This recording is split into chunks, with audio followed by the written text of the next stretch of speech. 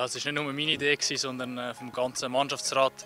Wir haben uns überlegt, was wir jetzt in dieser Zeit machen können. Äh, wir haben mitbekommen, dass doch die Treue und die Solidarität der Fans immer noch extrem hoch ist. Alle vermissen den Fußball, nicht nur wir, sondern auch die Fans. Jetzt haben wir die Aktion ins Leben gerufen, damit wir doch ein bisschen Nähe zu den Fans können wahren. Sie können besuchen, natürlich mit dem nötigen Abstand.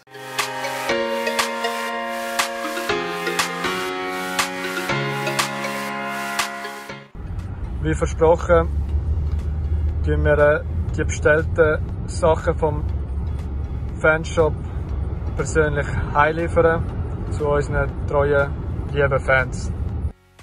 Hey, can't wait! Let's go!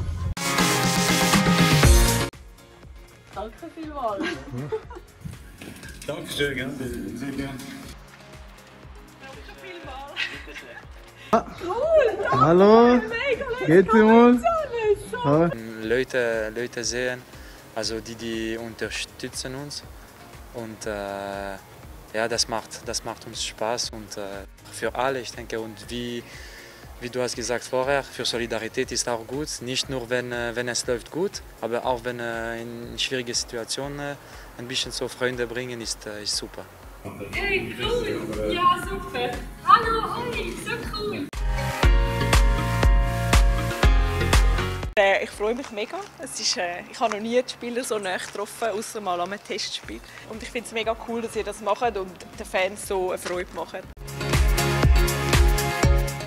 Und ich hoffe natürlich, dass doch auch das ein oder andere Kind dabei wird sein, wo wir da ein, bisschen, äh, ein Lachen ins Gesicht zaubern mal ein bisschen den Alltag vom ganzen Homeschooling, vielleicht auch noch ein bisschen die schwierigen Zeiten mal äh, ein bisschen in die Vergessenheit geraten lassen.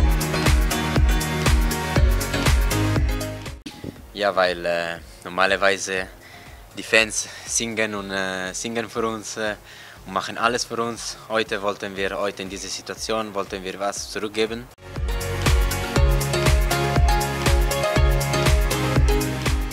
Hat wirklich Spaß gemacht, die Reaktion der Fans, der Kinder, von allen. Es war geil, geiler Nachmittag.